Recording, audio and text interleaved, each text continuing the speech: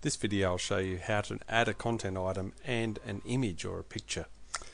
Click on add new content item. Fill in the boxes at the top here. A title, we'll call this wind energy.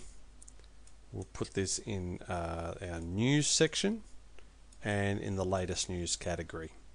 Now I have already copied some text so I'll simply right click in here and choose paste save as typing.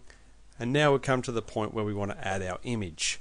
We simply choose where in the article we'd like the image to appear or begin. And I'm going to choose the beginning of the second paragraph.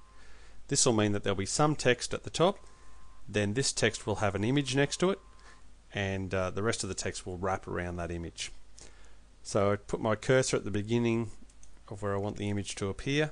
Click on this button here that looks like a photo insert edit image and that will open a new window called the image manager. This will show us all of the images that are currently on the hard drive or on the server. These are available to us. I'll scroll down to the bottom of that list. I'm going to choose this image here called wind farm okay it's a photo of a, windmill. It shows us a preview over here on the right. At the top of the page you have all the different bits and pieces of that image. You can change the dimensions. It is uh, I recommend that you leave the dimensions the same or get the image roughly the right size before you upload it uh, to the server so that you're not making a huge image down to a very small size. You can also choose how it aligns itself.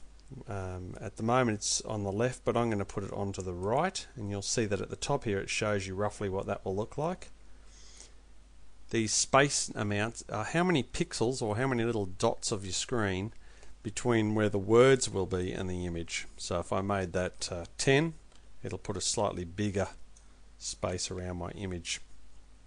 You can choose a border. So just for effect to show you, I'm going to choose a 1 pixel wide border, which is a very thin border. And I can choose a color by clicking on this color bar. Let's choose red just to make a point. When I'm completely finished, I've made all those things the way I want them, I come down the bottom here and click insert and it will take me back to my content item and what you can see is that I've got exactly what I asked for. The image starts at the level with the top of the second paragraph. Uh, it has a border which has a little space around it because I made that uh, space a little larger and it's inserted the image with the text wrapping around it. Simply go up to the top of your page and click save and you've added some new content to the website.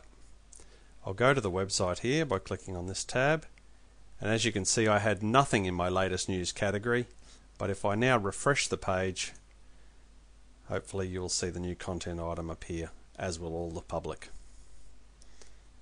So now our website has just had a new content item added to it uh, which you did in a few seconds.